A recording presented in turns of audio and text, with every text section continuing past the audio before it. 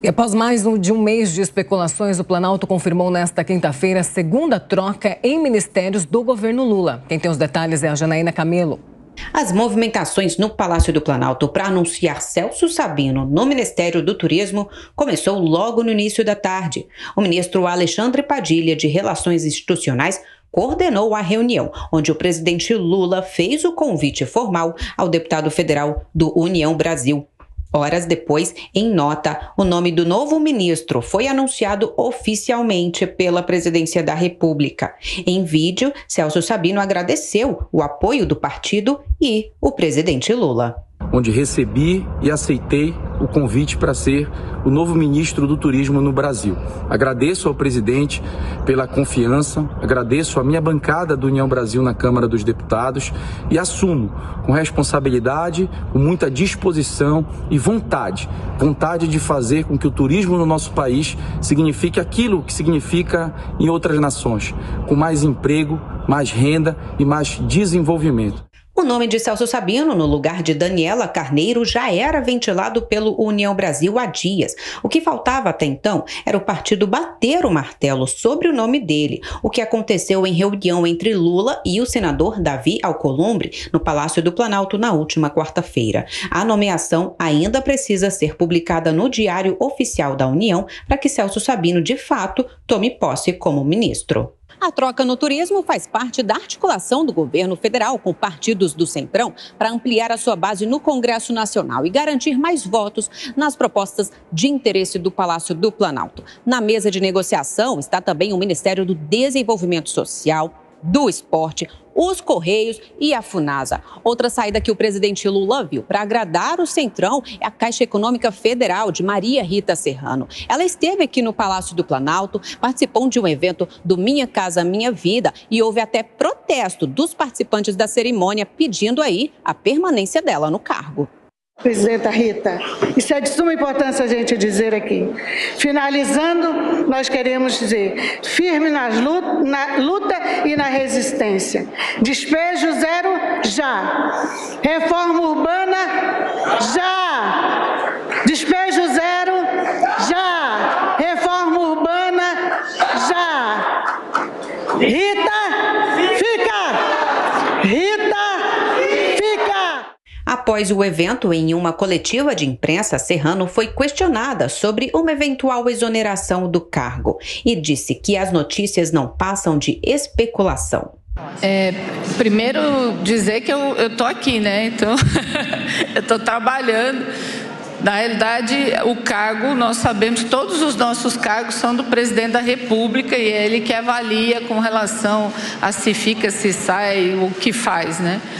Então, não existe absolutamente nada de concreto com relação a isso, não houve nenhuma conversa sobre essa possibilidade. O que nós temos visto é, de fato, uma especulação muito grande da imprensa, que não envolve só, na realidade, meu nome, mas são vários nomes. Eu acho, quero dizer que acho isso muito ruim, porque você me parece que o objetivo disso, inclusive, é criar uma instabilidade no governo e com isso paralisar o governo quando você tem esse grau de especulação. A ideia é que a Caixa seja entregue ao PP de Ciro Nogueira, que foi ministro da Casa Civil de Jair Bolsonaro. O governo pensa em distribuir os cargos ao Centrão, beneficiando os partidos em bloco, evitando assim que alguma sigla fique de fora. A definição final das tratativas deve ficar para agosto, com o retorno dos parlamentares após o recesso no legislativo. E girando os nossos comentaristas para falar sobre este e outros assuntos também, Amanda Klein já está aqui com a gente. Amanda, bom dia a você. Sabino assume essa pasta do turismo, mas vem mais trocas por aí, né? Tem o Ministério do Desenvolvimento também, do Esporte, presidente dos Correios. De fato, isso faz parte do jogo, né, Amanda? São trocas, querendo ou não, que visam o interesse aí do próprio governo Lula, mas faz parte aí desse cenário todo. Oi, Paula, bom dia a você, Beraldo, Thiago, a nossa audiência. E diga-se de passagem, é um jogo legítimo. Quando você traz mais aliados para dentro do governo, é natural que você divida o poder. E como é que você divide o poder é, num governo presidencialista de coalizão? Você distribui cargos e verbas para os seus aliados que te ajudam a governar. Essa entrega do Ministério do Turismo ao Celso Sabino, indicado pela Câmara dos Deputados com apoio de toda a União Brasil, ele é a primeira é, mexida nesse xadrez ministerial, a primeira peça que se move. E a gente espera, como você mesmo antecipou, Paulo, que, Paula, que outros ministérios sejam entregues. Não sei se do desenvolvimento social ficou, é verdade, sob ataque especulativo do Centrão, que também já tinha promovido esse mesmo ataque especulativo contra o Ministério da Saúde.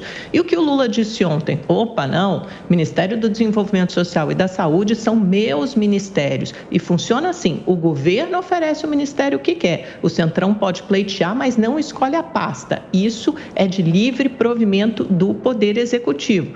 Então, já tentou amainar, acalmar os ânimos, o apetite, a voracidade do Centrão. O que o governo vai fazer? As negociações continuarão intensas ao longo desse mês de julho, que é de recesso legislativo, portanto, o governo ganha o tempo, porque não corre risco de ser derrotado em nenhuma votação, mas você diz certo, tem Correios, tem Funasa, tem Embratur, tem Ministério do Desenvolvimento Social, tem Ministério dos Esportes, tem vários cargos aí que são colocados e que podem eventualmente contemplar o Centrão. E que outros partidos podem entrar no governo, PP e republicanos. Só que o governo Lula está dando um passo atrás, está falando assim: olha, se vocês quiserem realmente fazer parte do nosso governo, vão ter que assumir esse casamento. Não adianta dizer, é, ter ministério, cargo importante, dizer que continua independente e que não é governista. Tem que assumir o namoro, o casamento de papel passado, a ver como esses outros partidos se comportarão.